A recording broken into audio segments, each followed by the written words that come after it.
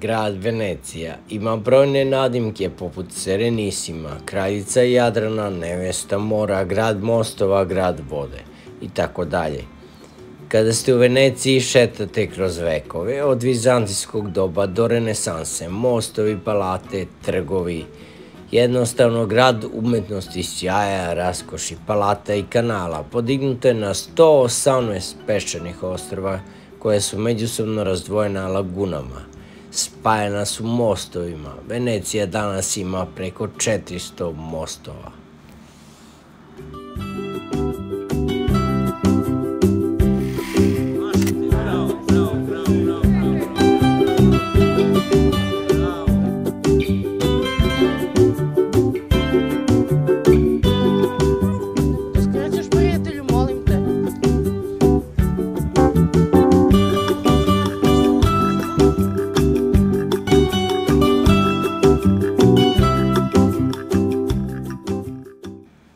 Vožnja gondolom u Veneciji je jedna od stvari koju morate isprobati. Većina gondolijera je izuzetno posvećena svom poslu, pevaće vam tradicionalne pesme i svirati. Doživlje sa putovanja će svakako biti nezaboravan. Gondole su obično duge 11 metra, a široke oko metar i po. Saobraćaj se odvija kanalima kojih je 150, a duboki su oko 14 metara. Sve se odvija na brodićima, pošta, policija, medicina, vatrogasci. Automobili i bicikli su zabranjeni. Vožnja gondolom košta 80 eura.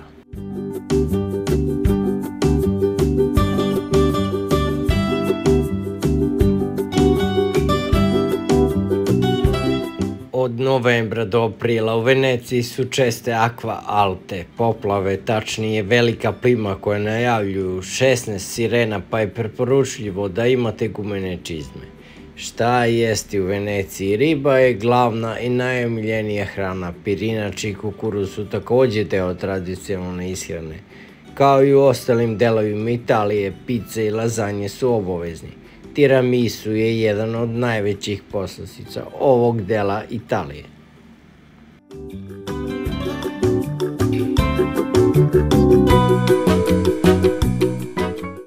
Trg Svetog Marka je vekovima popularna turistička atrakcija i jedan od simbola grada. Centar je izbivanje u samom gradu i ovde možete pronaći brojne kafiće sa živom muzikom – Kad brodom prilazite Veneciji, mnoge građevine vam zakupljaju pažnju, a Santa Maria della Salute je jedan od upečatljivih. Zatim, tu je most Rialto, tu je most Uzdaha i mnogi drugi.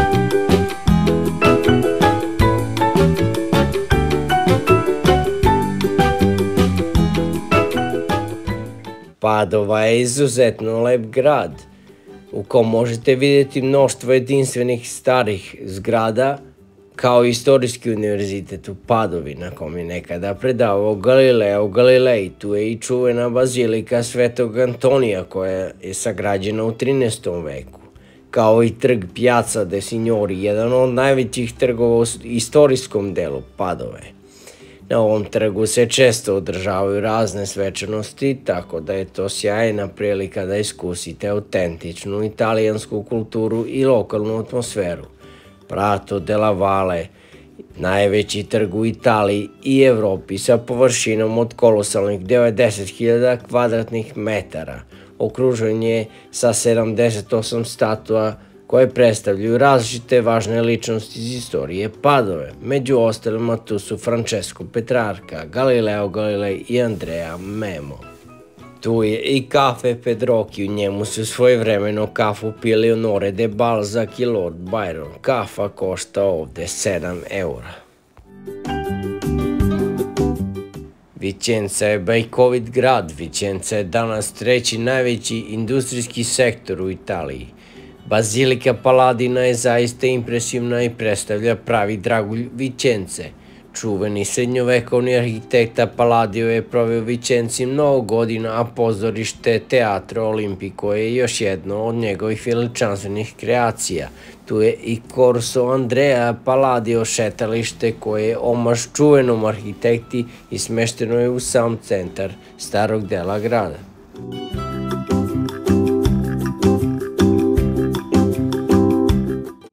Rimski amfiteatar, poznati kao arena, izgrađena je tokom prvog veka od materijala iskopanog po lokalnim kamenolomima i prvobitno je služila Rimljanima za krvave gladijatorske borbe, a uz Romea i Juliju najprepoznatljiviji je simbol Verone u svetu. Arena je i danas u upotrebi, a poznata je po grandioznim operama. Pogodna je zbog odlične akustike – U davna vremena ona je primala 30.000 posetilaca, a danas iz sigurnosnih razloga taj broj je smanjen na 15.000. Nalazi se u centru Verone na glavnom trgu Bra.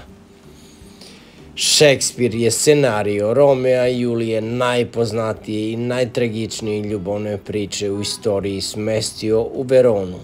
Kaza di Giulietta, atrakcija Juline kuće je balkon sa koga su se navodno Romeo Monteki i Julija Capuleti zaklinjali na večnu ljubav. U dvorištu se nalazi bronzana statua Julije koju brojni turisti po verovanju dodiruju da bi im donala sreću u ljubavi.